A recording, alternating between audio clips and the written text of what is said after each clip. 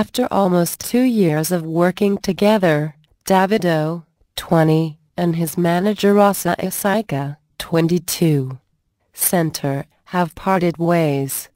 They reportedly ended their working relationship a few days back but none of them have said anything about it yet, though they've both changed their Twitter bios. I'm trying to find out what really happened between these two as there are a few versions of what led to their breakup.